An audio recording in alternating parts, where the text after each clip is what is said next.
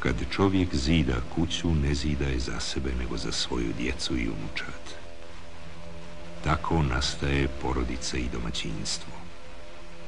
Kad vladar zida crkvu, ne zida je za sebe ni za svoje sinove, ni unučat, nego za narod koji će je kroz vijekove pohoditi. Tako se stvara država. Kuća je ono što ostaje postije čovjeka. Crkva je ono što ostaje postije vladara. Kuća ostaje djeci, crkva narodu.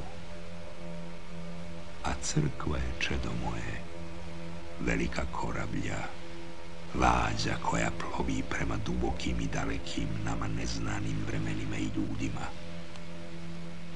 U koji god vijek doplovi dovešće i nas i pokazati nas našim još nerođenim potomcima.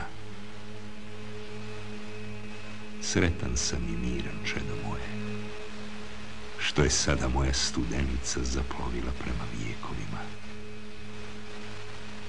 U opštem potopu vremena samo su takve korablje, poput Nojeve lađe kadre da nas spasu, najvećeg od svih ponora, od zaborava.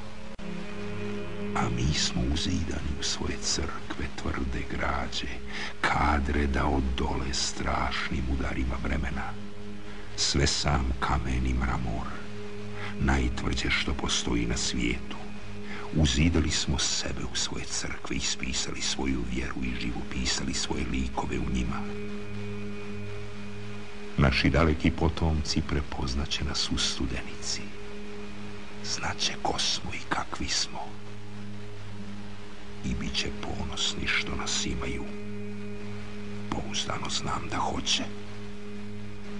Ponosit će se što su pleme Nemanjičko.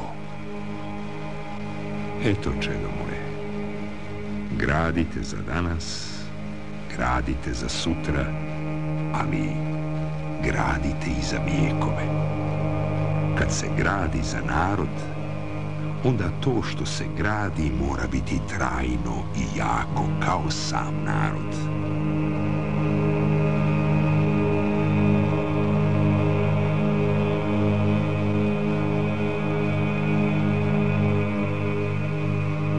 Kad se gradi, onda to što se gradi mora biti trajno i jako kao sam narod.